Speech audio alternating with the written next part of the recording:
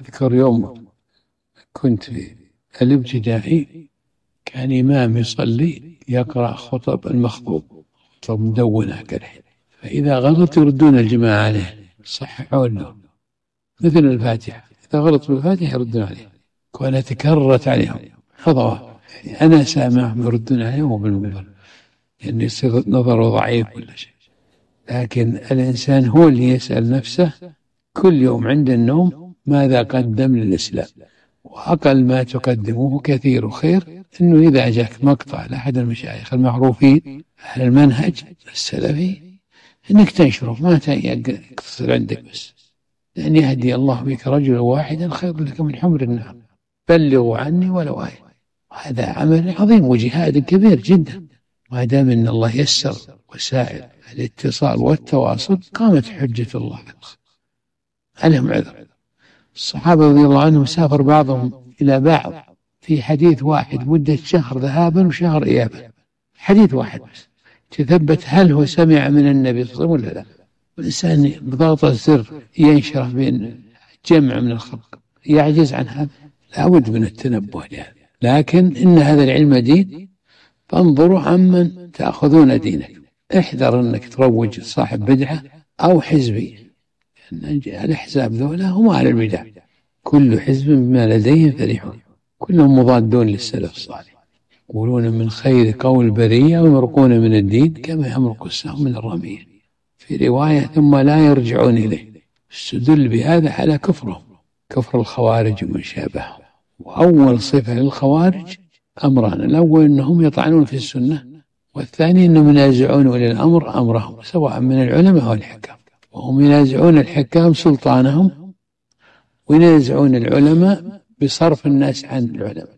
الأكابر فإذا شفت أحد يحوم حول هذا الأمرين اعلم أنه حزبين هالك والخوارج من يوم ظهروا إلى اليوم. ما قامت لهم دولة ما قامت لهم دولة. باسمهم ودولتهم كذا كذا.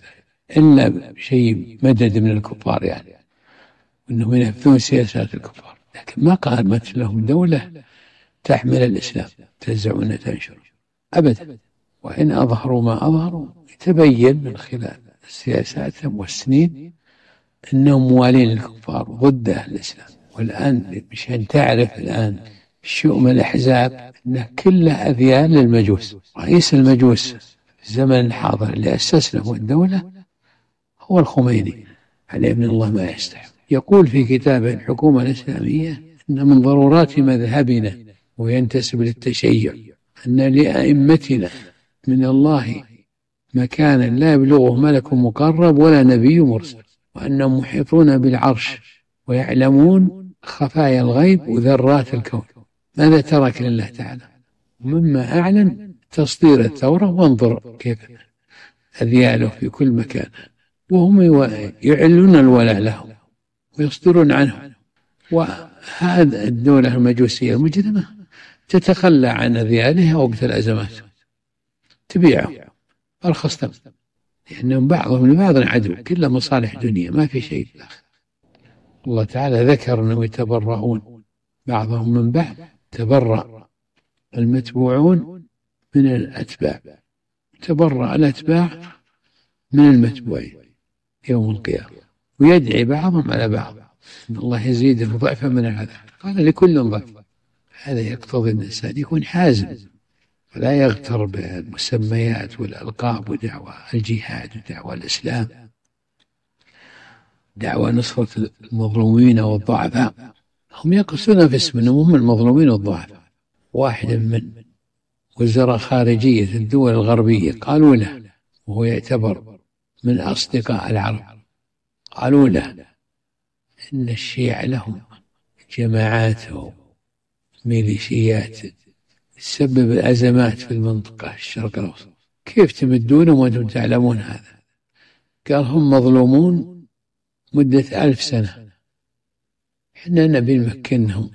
نشوف كيف سوي كيف هذا يصرح بكذا وهو معروف إنه صديق للعرب. صديق العرب.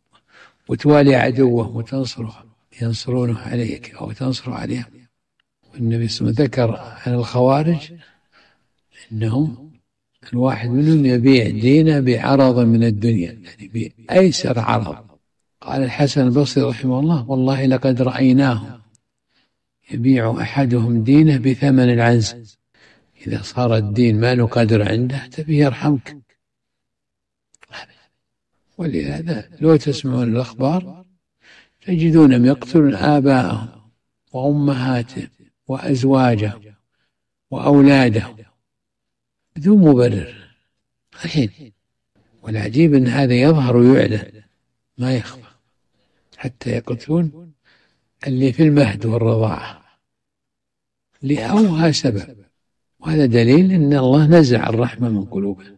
ويل للقاسية قلوبهم من ذكر الله.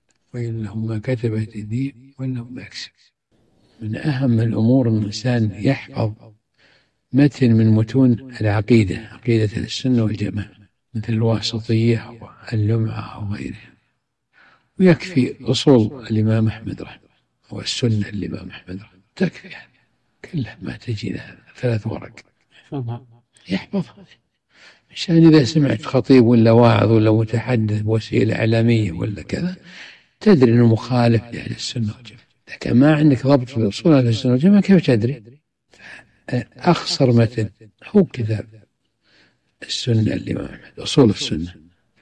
لو تقرأ أبسط شرح له يكفيك. حتى قالوا لو ذهب أحد للصين يطلب هذا ما هو بغريب ما هو كذب. وأنت تعجز أنك تطلبه وأنت في بيتك. بارك الله فيكم.